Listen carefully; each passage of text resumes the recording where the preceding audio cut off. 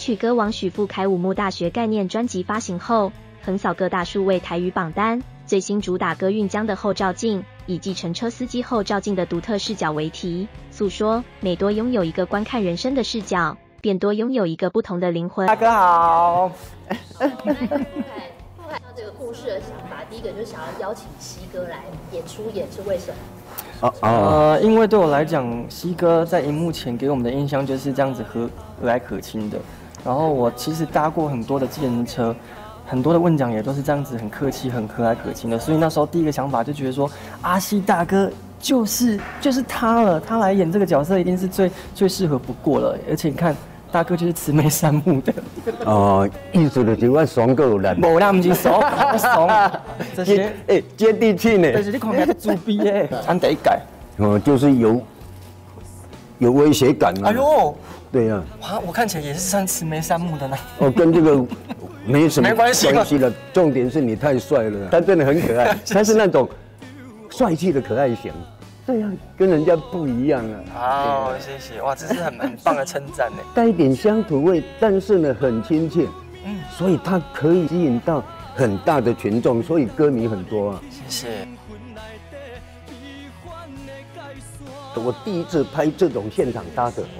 哦，对，科技进步了啦，我老啊了。拍这种歌曲 MV 的话，应该常常会碰到吧？第一次啊，你也是第一次？这是我第一次，对，因为以前都是在外景的实景样子，这是我第一次跟这样子的背景做结合，所以蛮新鲜的，而且真的还蛮省事的哎。其实对对，其实这样子蛮好控制的。嗯，不管噪噪音的干扰啊，或者天气的变化、阳光的明暗啊，都没影响了。对。之前以前有听过那个傅凯的歌吗？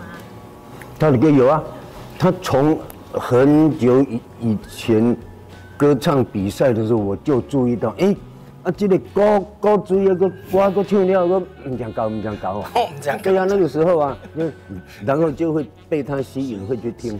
后来我耳朵不好了，嗯，你看我有戴助听器，所以最近这十几年我就比较少听歌。但是戴助听器在外面走的时候，有时候还会，嗯，他的歌又跑跑出来，又会听到啊。人家家里啊、店里啊放的蛮大声的音乐梦啊。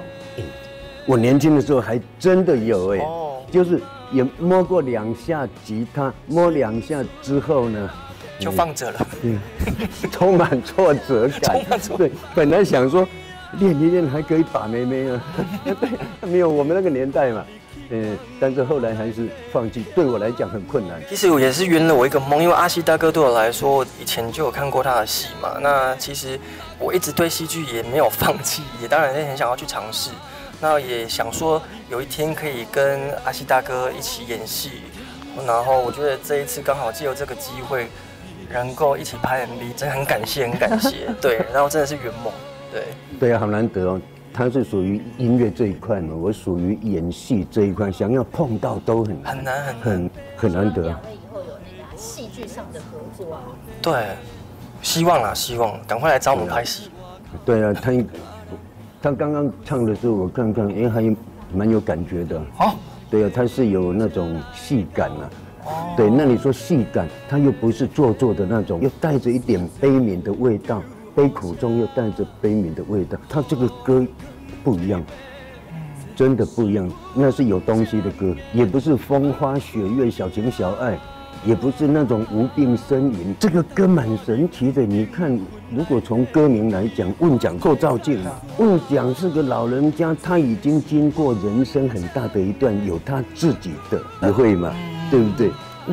那后照镜，啊，好就给他隔了一个玻璃，看过去好像人跳出来，好像听众听这首歌的时候跳出来来看人间百态。后照镜，看完之后是不是也会回过头来后照嘛？嗯嗯。我自己的人生呢，但是蛮好玩的。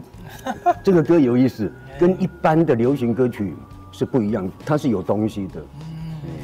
阿弥陀佛，突然间想要讲阿弥陀佛，希望能大卖。谢谢。